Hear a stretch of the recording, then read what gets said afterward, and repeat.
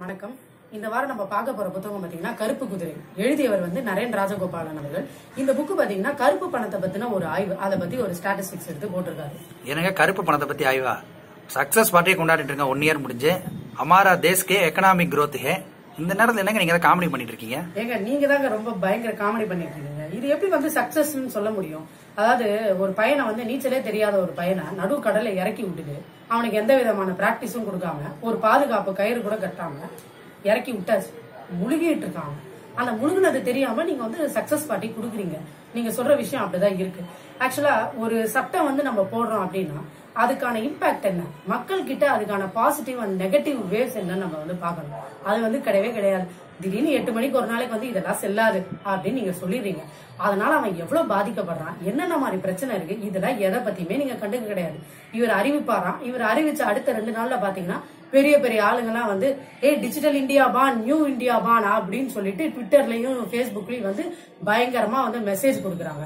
ஆனா இது வந்து ஃபெயிலியர் அப்படின்றது இந்த ஆரம்பத்திலேருந்தே வந்து பிரபல நாளிதழ்லாம் வந்து சொல்லிட்டே தான் இருக்காங்க. நீங்க சொல்ற மாதிரி இந்த சோகால்டு டிஜிட்டலைஸ் இந்தியா இன்னும் வந்து மக்களுக்கு பரிச்சயம் படல. இனிமே பாத்தீங்கன்னா மக்கள் வந்து பழைய மாதிரி வந்து கேஷ் டிரான்சாக்ஷன்ல தான் வந்து எல்லாமே நடக்குதே தவிர அதாவது ஏடிஎம்ல போய் தான் பணம் எடுக்கிறாங்களே தவிர இந்த இ வேலெட்டு இந்த ஆன்லைன் பேங்கிங்லாம் இன்னும் வந்து மக்கள் பரிச்சயம் ஆகல. சோ இது வந்து டிஜிட்டல் இந்தியா வந்துருச்சு அப்படின்னு சொல்றது எல்லாமே ஒரு முட்டாள்தனமான ஒரு விஷயம். சரிங்க நீங்க இது இதை வந்து சொல்றீங்க சக்சஸ் சொல்றீங்க. கருப்பு பணம்னா என்ன? அதை பத்தி உங்களுக்கு என்ன தெரியும்? கருப்பு பணம்னா என்னங்க? அதை வரி கட்டாம சேர்த்து வைக்கிறது பணம் இந்த சங்கார் படத்துல காட்டுற மாதிரி கிணத்துக்குள்ள வைக்கிறது இல்ல கட்டில் கடியில போச்சு வைக்கிறது அதுதான் கருப்பு பணம் சேர்த்து வைக்கிறது அவ்வளவுதான் கருப்பு பணம் டாக்ஸ் கட்டாம அவ்வளவுதானே? நீங்க இந்த சினிமாவெல்லாம் பார்த்து இந்த கருப்பு பணம்லாம் வந்து இந்த பொட்டியில வைக்கிறது அப்புறம் இந்த பெட்டு மேல மறைச்சு வைக்கிறது பெட்டியை வந்து கிணத்துக்குள்ள கட்டுறது. சோ அந்த மாதிரி தான் நீங்க நினைச்சிட்டு இருக்கீங்க. ஆக்சுவலா அப்படி இல்ல. அது ஒரு காலத்துல இருந்தது அப்படின்னு சொல்லலாம். தவிர இப்ப எல்லாமே பாத்தீங்கன்னா டிஜிட்டலைஸ் டிஜிட்டலைஸ் ஆயிடுச்சு. நீங்க வந்து இந்த கேவைன் தீவு அப்புறம் வந்து இந்த துபாய் மொரீஷியஸ் இதை பத்தினா நீங்க கேள்விப்பட்டிருக்கீங்களா? அந்த மாதிரி ஒரு தீவுகள்ல வந்து இந்த மாதிரி ஜாலியா போவாங்க ஜாலியா பசங்களா போவாங்க சரக்கு அடிப்பாங்க என்ஜாய் பண்ணுவாங்க. அந்த மாதிரி ஐலாண்ட்ஸ் தீவுகளும் அதுக்கு தானே போறது. இல்ல அந்த தீவுகள். கல்யாணம் ஆனவங்க ஹனிமூன் போவாங்க. அப்படிதான் தெரியும் ஐலாண்ட் மத்தபடி அங்க என்ன நடக்குது அங்க? ஆக்சுவலா இப்ப என்னன்னு பாத்தீங்கன்னா இப்ப வந்து இந்தியால ஒரு பயங்கர ஒரு பெரிய தொழிலதிபர் இருக்காரு. அப்படின்னு வச்சுக்கோமே அவருக்கு வந்து இங்க ஒரு கம்பெனி ஆரம்பிக்கணும். அப்படின்னா அவரால் டைரக்டா இங்கே வந்து ஆரம்பிக்க முடியாது. அவர் என்ன பண்ணுவார் அப்படின்னு பார்த்தீங்கன்னா இங்கே நேராக கிளம்பி சிங்கப்பூருக்கோ இல்லை ஹாங்காங்கோ போவார். போயிட்டு துபாய் அப்படின்ற துபாய் இந்த சோகால் இந்த மொரிஷியஸ் அந்த மாதிரி ஒரு தீவுகளுக்கு போவார். போயிட்டு என்ன பண்ணுவாருன்னா ஒரு நேம் சேக்குக்கு இந்த நோட் பேட் கம்பெனின்னு சொல்லுவாங்க லெட்டர் பேட் கம்பெனி அதை மாதிரி ஒன்று ஆரம்பிச்சிருவார். ஆரம்பிச்சுட்டு என்ன பண்ணுவாருன்னா இந்தியாவுக்கு வருவார். திரும்ப வந்துட்டு பார்த்தீங்கன்னா இங்கே இருக்கிற பெரிய பெரிய அரசியல்வாதிகளோட ஒரு காக்டெயில் பார்ட்டி வந்து கொண்டாடுவார். கொண்டாடிட்டு மறுநாள் காலைல பார்த்தீங்கன்னா இந்த காக்டெயில் பார்ட்டியை வச்சு என்ன நியூஸ் வரும் பார்த்தீங்கன்னா இந்த மாதிரி ஒரு பெரிய பிஸ்னஸ் மேன் இந்த மாதிரி யூஎஸ்ல இருந்தோ யூகேல இருந்தோ ஒரு பிஸ்னஸ் மேன் வந்து இந்தியால வந்து தொழில் தொடங்க போறாரு. ஆயிரம் கோடி ரூபாய்க்கு. ஸோ வந்து நம்ம நாடு வந்து எங்கேயோ வளர்ச்சி அடைய போகுதுன்னு சொல்லுவாங்க. சோ இப்படிதான் வந்து பிளாக்கை வந்து ஒயிட்டா வந்து மாத்திக்கிட்டு இருக்காங்க. சரிங்க நீங்க இந்த விஷயம் வந்து உங்களுக்கு தெரியாம இருக்கலாம். ஓகே நீங்க ஒர்க் பண்றது எங்க? சாஃப்ட்வேர்ல ஒர்க் பண்றேங்க. சாஃப்ட்வேர் வந்து எப்படி? சாஃப்ட்வேர்ல நடக்கிற இந்த மாதிரி டிரான்சாக்ஷன் பத்தி உங்களுக்கு ஏதாவது தெரியுமா? சாஃப்ட்வேர்லங்க சாஃப்ட்வேர்ல ஒர்க் பண்றோம். பத்து மணி நேரம் பதினாலு நேரம் ஒர்க் பண்றோம். அதனால நாட்டுக்கு பொருளாதாரம் தானங்க இன்க்ரீஸ் ஆகுது நாங்க பண்ணி கொடுக்குறோம். அதை வச்சு நல்லா காசு பாக்குறாங்க. அப்புறம் வேற என்னங்க வேணும்? நாட்டுக்கு வளர்ச்சிக்காக நாங்க ஒர்க் பண்றோம். உங்களுக்கு தெரிஞ்சது டாக்ஸ் கட்டுறோம். நாங்க உருப்படியா டாக்ஸ் கட்டுறோம்ல அப்புறம் என்ன? உங்களுக்கு தெரிஞ்சதெல்லாம் வந்து ஆபீஸ்ல வந்து கோட் அடிச்சுட்டு வீக்கெண்ட் ஆனா ஜாலியா பார்ட்டிக்கு போயிட்டு பப்புக்கு போயிட்டு வரீங்க. சரிங்க. உங்க ஆபீஸ் வந்து எந்த இடத்துல அமைஞ்சிருக்கு அது உங்களுக்கு தெரியுமா? ஆ தெரியுங்க. ஸ்பெஷல் எக்கனாமிக் ஜோன் அதாவது செஸ்ன்னு சொல்லப்படுகிறது ஸ்பெஷல் எக்கனாமிக் ஜோன் இந்த செஸ் வந்து பாத்தீங்கன்னா எதுக்காக ஆரம்பிச்சது அப்படின்னு உங்களுக்கு அதை பத்தி தெரியும். ஏன்னா அங்க இது பண்ணா டாக்ஸ் கம்மி. அங்க அங்கேருந்து உற்பத்தி ஆகக்கூடிய எல்லாத்துக்குமே டாக்ஸ் கம்மி. தெரியும். இதுல என்ன இருக்கு? சரி ஓகே அது உங்களுக்கு தெரிஞ்சிருக்கு. அதை தாண்டி இதுல நடக்கிற வந்து பிளாக் அண்ட் ஒயிட் டிரான்சாக்ஷன் பத்தி ஒரு பயங்கர ஆய்வே இவர் பண்ணியிருக்காரு. நரேன் ராஜகோபால் அவர் அதாவது பாத்தீங்கன்னா இப்ப செஸ் நீங்க சொல்ற மாதிரி அந்த செஸ் ஜோன்ல ஒரு சாஃப்ட்வேர் கம்பெனி ஆரம்பிக்கிறாங்க அப்படின்னு பாத்தீங்கன்னா ஏற்கனவே உள்ள சாஃப்ட்வேர் கம்பெனியை வந்து வெளிநாட்டுக்காரன் வாங்கலாம். இல்லனா புதுசா கூட இப்ப நான் சொன்ன மாதிரி ஒரு காக்டைல் பார்ட்டி வச்சும் கூட ஆரம்பிக்கலாம். இது என்ன மெயின் இது டிரான்சாக்ஷன் பாத்தீங்கன்னா எஸ்ஏபி இஆர்பி சிஆர்எம் இந்த மாதிரி பிக் டேட்டா இந்த மாதிரியான வந்து மென்பொருள் நுட்பங்களை வந்து இம்ப்ளிமெண்ட் பண்றோம். சும்மா ஒரு மேல் பூச்சிக்கு இம்ப்ளிமெண்ட் பண்றோம் அப்படின்னு சொல்லிட்டு இவங்க வந்து உள்ள நுழையிறாங்க. இதுல பாத்தீங்கன்னா ஃபுல்லா உங்களை சுரண்டுறாங்க. பத்து ஆண்டுக்கு பாத்தீங்கன்னா கவர்மெண்ட்டே அவங்களுக்கு ஃப்ரீயா டாக்ஸே கட்ட வேணாம்னு சொல்லி இந்த ஸ்பெஷல் எக்கனாமிக் ஜோன் பாத்தீங்கன்னா கவர்மெண்ட்டே அவங்க வந்து கட்டமைச்சு வந்து கொடுத்துருக்கு. சோ இதுல அவன் வந்து கவர்மெண்ட்டை மட்டும் இல்ல மக்களை சொல்றான் உங்களை மாதிரி எம்ப்ளாயிஸ சொல்றான் இவ்வளவு வேலை வந்து நடக்குது இந்த சாஃப்ட்வேர்ல அப்படின்னு தான் நம்ம வந்து சொல்லணும். அதே மாதிரி இப்ப இந்த மென்பொருள் டிரான்சாக்ஷன் எப்படி நடக்குது அப்படின்னு பாத்தீங்கன்னா இப்ப நீங்க வந்து ஒரு பொருள் வந்து ஐநூறுரூவாய்க்கு உங்களுக்கு வேணும் வாங்கணும் அப்படின்னு பாத்தீங்கன்னா உங்களோட லீகல் பணத்துல இருந்து ஒரு நூறு நீங்கள் நீங்க அதுல போடுவீங்க. மீதி நானூறுரூவா பார்த்தீங்கன்னா பாத்தீங்கன்னா இந்த தீவுகள்ல போய் நீங்க அந்த so called letter pad company ஆரம்பிச்சாங்கன்னு சொன்னீங்கல்ல அந்த லெட்டர் பேட் கம்பெனிலேருந்து மீதி நானூறுரூவா போகும். இதை வந்து என்ன பண்ணுவாங்கன்னா ஃபுல்லாக டிஜிட்டலைஸ் ஆகி டபிள்யூடிஓவில் என்ன பண்ணிடுவாங்க இந்த மாதிரி ஒரு பொருள் வந்து நாங்கள் வந்து இந்த மாதிரி டிரான்சாக்ட் ஆக போகுது இந்தியாவுக்கு அப்படின்னு. ஸோ டபிள்யூடிஓவும் என்ன நினச்சிப்பா இது ஃபுல்லாக எல்லாமே பக்கா ரெஜிஸ்டரைஸ்டு பக்கா கம்ப்யூட்டரைஸ்டுன்னு சொல்லிட்டு இந்த பொருள் இங்கே வந்துடும் இங்க வரது எதுல வருதுன்னு பாத்தீங்கன்னா எக்ஸ்போர்ட் ஓரியன்ட் யூனிட்னு சொல்லுவாங்க. இந்த எக்ஸ்போர்ட் ஓரியன்ட் யூனிட் மூலயமா வர பொருள்கள் எதுக்குமே பாத்தீங்கன்னா நீங்க டாக்ஸே இது பண்ண முடியாது. ஏன்னா கவர்மெண்டே வந்து அதை ஆதரிக்குது.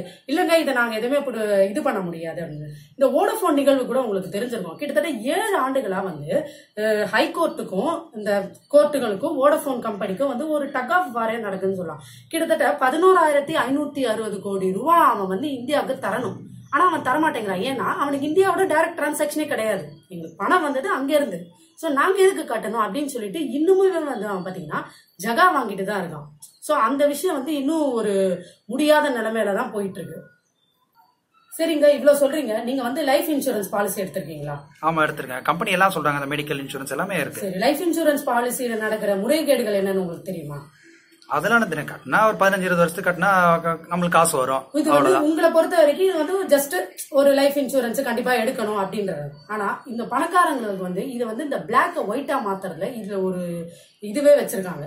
எப்படின்னா இப்போ ஒரு பணக்காரர் வந்து பத்து லட்சத்துக்கு வந்து இன்சூரன்ஸ் எடுக்கிறாருன்னு வச்சுக்கோம் அவர் என்ன பண்ணுவாருன்னா முதல் ஒரு மூணு லட்சம் வந்து அவரோட லீகல் பணத்துல இருந்து கொடுப்பாரு. அந்த இன்சூரன்ஸ் கம்பெனி கொடுத்துட்டு மீதி பணத்தை என்ன பண்ணுவாரு அப்படின்னு பாத்தீங்கன்னா இந்த ஏழு லட்சம் பணத்தை வந்து கேஷா கொடுப்பாரு. சோ அந்த கேஷா கொடுக்கறதுலயுமே பாத்தீங்கன்னா இப்போ நீங்க ஃபர்ஸ்ட் லீகலா கொடுக்கறாருல அந்த லீகலா கொடுக்கற பணமே பாத்தீங்கன்னா ஐம்பதாயிரம் அப்படின்னு பாத்தீங்கன்னா பேன் கொடுக்கணும். பேன் கொடுக்காம என்ன பண்ணணும்னா நாற்பத்தொன்பதாயிரத்தி தொள்ளாயிரத்தி தொண்ணூத்தி ஒன்பது ரூபா கொடுத்து ஒரு ஆறு ஏழு பாலிசியில அவரோட பணத்தை வந்து இன்வெஸ்ட் பண்ணிடுவாங்க. இப்படி அவரோட பத்து லட்சத்துக்கான பணத்தையும் வந்து வேற வேற வேற வேற வேற இன்சூரன்ஸ் கவரேஜ்ல போட்டு வச்சிருவாங்க. இன்சூரன்ஸ் கம்பெனியோட ஒரு பாலிசியே என்ன அப்படின்னு பாத்தீங்கன்னா 15 டேஸ்க்குள்ள உங்களுக்கு அந்த பாலிசி பிடிக்கல அப்படின்னா நீங்க வந்து அதை வந்து வித்ரா பண்ணிக்கலாம். இது எல்லா இன்சூரன்ஸ் கம்பெனிலுமே வந்து ஒரு நார்மலா நடக்கிற ஒரு பாலிசி தான். இப்ப இந்த பெரிய மனுஷன் என்ன பண்ணுவார்? பணக்காரர் அப்படின்னு பாத்தீங்கன்னா கொடுத்த பணத்தை வந்து பதினஞ்சு நாளைக்குள்ள எனக்கு வந்து இந்த பாலிசி வேண்டாம். நான் வந்து திரும்ப பேக் எடுத்துக்கிறேன் அப்படின்னு சொல்றாரு. அப்ப என்ன ஆகும்னு பாத்தீங்கன்னா கொஞ்சமா ஒரு சர்வீஸ் சார்ஜ் மட்டும் அந்த இன்சூரன்ஸ் கம்பெனி வந்து புடிச்சிட்டு மீதி இந்த பத்து லட்சத்துக்கான அமௌண்ட்டே பாத்தீங்கன்னா ஃபுல்லா செக்காவே தந்துருவோம் சோ அப்ப இன்சூரன்ஸ் கம்பெனில இருந்து வரப்போ என்ன ஆயிடும்? நீங்க கொடுத்த கேஷ் வந்து செக்கா வருது. சோ அப்ப அங்க என்ன ஆகுது? பிளாக் வந்து ஒயிட்டா மாறும் இப்படிதான் இன்சூரன்ஸ் கம்பெனியோட முறைகேடுகள் நடக்குது. இதே மாதிரிதான் மெடிக்ளைம்லயும் மெடிக்ளைம்ல நீங்க இருபத்தஞ்சாயிரம் மட்டும்தான் பே பண்ணுவீங்க. ஆனா உங்களுக்கு கிடைக்கிற பெனிஃபிட் பாத்தீங்கன்னா ஒரு லட்சமோ ரெண்டு லட்சமோ அப்படின்னு சொல்லி சொல்லுவாங்க. சோ அப்ப அதுல என்ன ஆச்சு? உங்களுக்கு பெனிஃபிட்டுக்கு பெனிஃபிட்டும் ஆச்சு. நீங்க வந்து மாஸ்டர் செக்அப் எடுத்த மாதிரியும் இருக்கும். அதே மாதிரி உங்களுக்கு அந்த இன்சூரன்ஸ் பண்ணணும் வராங்க. சோ இந்த மாதிரி முறைகேடுகள் தான் பயங்கரமா நடந்துட்டு இருக்கு. அதே மாதிரி இந்த ஹவாலா மோசடி அப்படின்னு சொல்லிட்டு சொல்லுவாங்க. அது எப்படின்னு பாத்தீங்கன்னா இப்போ வந்து நீங்க வந்து ஒரு துபாயில ஏதோ ஒரு இடத்துல இருக்கீங்க. உங்க வீடு வந்து ஏதோ ஒரு குக் கிராமத்துல இருக்குன்னு வச்சுக்கோங்க. யாருமே காண்டாக்ட் பண்ண முடியாத இடத்துல வந்து உங்களுக்கு ஒரு பணம் போய் சேரணும் அப்படின்னா நீங்க அந்த ஹவாலா புரோக்கரை பிடிச்சி அவங்களுக்கு வந்து கொஞ்சம் திராம்ஸ் கொடுத்தா போதும். அதாவது சர்வீஸ் சார்ஜஸ் கொஞ்சம் கொடுத்தா போதும். ஸோ நீங்க என்ன பண்ணுவீங்க? அந்த பணத்தை அவர்கிட்ட கொடுத்துருவீங்க. அது வந்து பணம் பணமா போகாது. ஆனா பணம் போய் சேர்ந்துரும். இதுதான் அந்த கான்செப்ட் அவர் வந்து இந்தியால இருக்க ஒரு ஏஜென்ட்டை பிடிச்சி அவருக்கு காசு கொடுத்து சர்வீஸ் சார்ஜ் கொடுத்து அந்த பணத்தை வந்து இங்க வந்து இருக்கிற கிராமத்துல கொண்டு போய் சேர்ற மாதிரி பண்ணுவாங்க இது எதுவுமே பாத்தீங்கன்னா லீகலாவே வராது. இந்த இது இந்த டிரான்சாக்ஷன் பாத்தீங்கன்னா இந்த சேனல் வந்து லீகலாவே வராது இல்லீகல் சோ இப்படி வந்து கருப்பு பணம் வந்து புழங்கிட்டு இருக்க நேரத்துல நீங்க வந்து டிமானிட்டைசேஷன் வந்து சக்சஸ்ன்னு சொல்றது.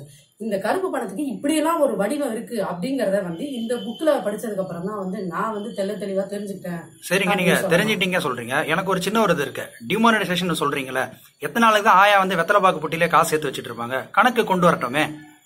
அப்பதாங்க உங்களுக்கு எல்லாம் ஒரே அக்கௌண்ட் ஒரே இதா இருக்குன்னு தெரிஞ்சுக்கிட்டோம் ஏன் இந்த ஜியோ சிம் எல்லாம் வாங்குறீங்க? போயிட்டு நின்று எவ்வளவு நா- நேரம் ஆனாலும் நின்று போய் வாங்குறீங்க. கிராமத்துல தான் சொல்றீங்க. எல்லாம் பாத்தீங்கன்னா செல்போன்ல எல்லாம் வீடெல்லாம் பாக்குறாங்க. சோ அந்த மாதிரி அக்கௌண்ட் ஓபன் பண்ணிட்டு போட்டோம். எல்லா காசையும் வந்து காட்டுங்க. லீகலா முடிஞ்சு போச்சுல? அதாவது சரிங்க நீங்க கேக்குறது ஒரு விஷயம் இப்போ நூறு சதவீதத்துல இருக்க. ஒரு பத்து சதவீத பேர் வந்து பிக் ஷாட்ஸ் அவங்க கிட்டதான் எல்லாமே இருக்கு. அவங்க தான் அரசாங்கத்தை எடுத்து நடத்துறாங்கன்னு கூட சொல்லலாம். அவங்க போடுற சட்டத்தை தான் அரசாங்கம் இயங்குதுன்னு கூட சொல்லலாம். சோ அவங்கள பிடிக்கிறது இல்ல நீங்க. ஆனா என்ன பண்றீங்கன்னா ஒரு சட்டத்தை போட்டு நூறு கோடி மக்களையும் நீங்க வந்து இதுல வந்து தாறுமாற சர்ஜிக்கல் அட்டாக் பண்றீங்க. ஐநூறு ஆயிரத்துல எத்தனை பிக் ஷாட்ஸ் பிடிப்பட்டாங்க எத்தனை பேர் வந்து கியூல போய் ஏடிஎம்ல நின்னாங்க? நின்னது வந்து பாத்தீங்கன்னா உங்களை மாதிரி என்ன மாதிரி சாமானிய மக்கள் உழைக்கும் மக்கள் உழைக்கும் மக்கள்கிட்ட நீங்க வந்து சுரண்டி அதை வந்து வந்து நீங்க கருப்பு பணத்தை புடிச்சிட்டேன்னு வந்து சொல்றீங்க இன்னும் சில அறிவுஜீவிகள்லாம் நம்ம நாட்டுல இருக்காங்க. அவங்க வந்து பாத்தீங்கன்னா அதெல்லாம் இல்ல எல்லாருமே டாக்ஸ் கட்டி ஆகணும். இது வந்து சூப்பருங்க அப்படின்னு சொல்லிட்டு இந்த டிமானிட்டைசேஷனை புகழ்ந்த அறிவுஜீவிகள் அவங்கள பார்த்தாலே வந்து வெட்டணும் போல தோணுது. ஆ? சாமானிய மக்கள்கிட்ட நீ வந்து இப்படி ஒரு அவனை நெஞ்ச குத்தி கிழிச்சுக்கிட்டு இருக்க. அவன் ஒவ்வொரு நாளும் சாப்பாட்டுக்கும் கஷ்டப்பட்டுட்டு இருக்கான். அவன்கிட்ட போய் நீ வந்து ஏடிஎம் டிரான்சாக்ஷன் வை டிஜிட்டல் டிரான்சாக்ஷன் வைன்னு சொல்லி. இன்னும் சில இடத்துல இன்னும் வந்து இந்த ஈஸ்டர்ன் காட்ஸ் இமாலயன்ல இருக்கிற மக்கள்லாம் பாத்தீங்கன்னா பழங்குடி மக்கள். அவங்களுக்குலாம் வந்து ஒரு சாதாரணமான ஒரு நார்மலான கிடைக்க வேண்டிய சேவையே கிடைக்கல. அவன்கிட்ட போய் நீ இ வேலெட் நீ வந்து இ வேலெட் பேங்கிங் யூஸ் பண்ணு. நீ டிஜிட்டல் கார்டை யூஸ் பண்ணுன்னு சொன்னா அவனுக்கு எப்படிங்க தெரியும்? அவன் வந்து அந்த கார்டு மேல அவனுக்கு நம்பிக்கையே இல்லை. இப்ப நீங்க டிஜிட்டலைஸ் கொண்டு வரோம்னு சொல்றீங்கல்ல முதல் அந்த கார்டுக்கே பரிச்சயம் ஆகலைங்க நீங்க இந்தியாவில லிட்ரஸி ரேட்டுன்னு எதை சொல்றீங்க? ஒரு மனுஷன் வந்து அவன் பேரை படிச்சு கையெழுத்து போட தெரிஞ்சா அதுதான் நீங்க லிட்ரஸி ரேட்ல வந்து கணக்கு காட்டுறீங்க. இது எப்படிங்க லிட்ரஸி ரேட்ல வரும்? ஒரு சட்டம்ன்றது பாத்தீங்கன்னா அந்த மக்களுக்கு பரிச்சயம் ஆகணும் நான் சொல்ற மாதிரி முழுகிட்டு இருக்கான் அவன். தண்ணியில முழுகிட்டு இருக்கான். அவனை நீ வந்து காப்பாத்துறதுக்கான எந்த வழியுமே பண்ணல. இன்னமும் மேல மேல மேல போட்டு சில கல்யாணம்லாம் நின்று இருக்கு இந்த டிமாண்டைசேஷன்னால ஒரு லட்சம் தான் நீங்க எடுக்க முடியும்.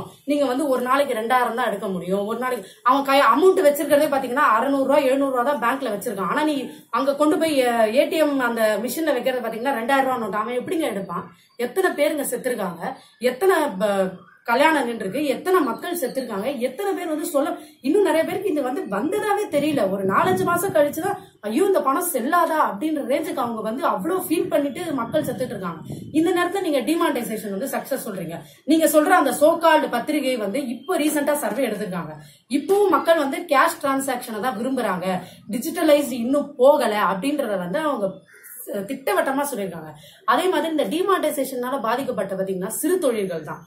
பயங்கரமா பாதிக்கப்பட்டு எத்தனை பேர் பொட்டி கடையெல்லாம் மூடிட்டு போயிருக்காங்க தெரியுமா? எப்- எப்- எவ்வளவு அவன் கடன் கொடுப்பான் என்ன பண்ணுவான் அவனால? ஒருவேளை சாப்பாட்டுக்கு அவன் வந்து அவ்வளவு கஷ்டப்பட்டுட்டு இருக்கும்போது நீங்க முத கார்ல இருந்து விட்டு வேற இறங்கி வாங்குங்க. முத மேலோட்டமா பாக்குறத வந்து நிப்பாட்டுங்க.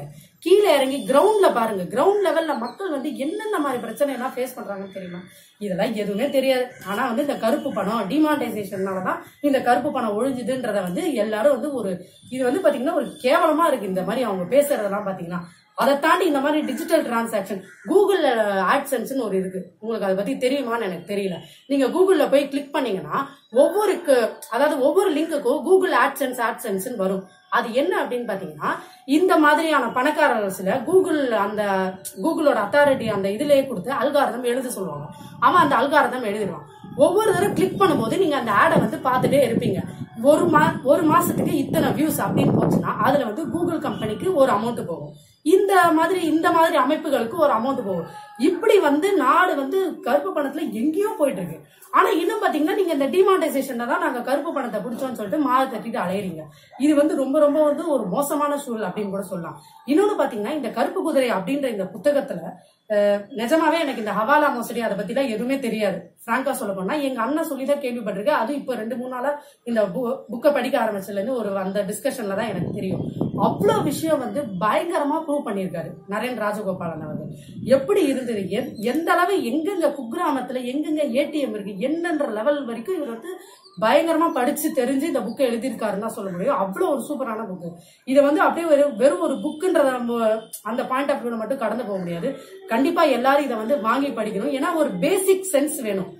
கருப்பு பணம்னா என்னன்றது பேசிக் சென்ஸ் வேணும் இல்லையா நமக்கு? அது தெரியாமே வந்து நம்ம அதை பத்தி நம்ம அதை ஒழிஞ்சிருச்சு அப்படின்னு வந்து அதுக்கு சக்சஸ் கொண்டாடுறது வந்து ஒரு பெரிய முட்டாள்தனம் தான் சொல்லுவேன். கண்டிப்பா எல்லாரும் இந்த புத்தகத்தை வாங்கி படிக்கணும் அப்படின்றது நான் இங்க கேட்டுக்கிறேன். நன்றி வணக்கம்.